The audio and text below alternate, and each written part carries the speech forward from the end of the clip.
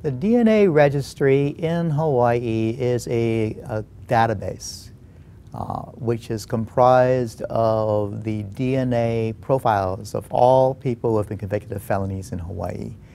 It is a private uh, database only accessible by law enforcement agencies and only under specific circumstances. Uh, but the reason uh, that it has been set up is basically to solve unsolved crimes.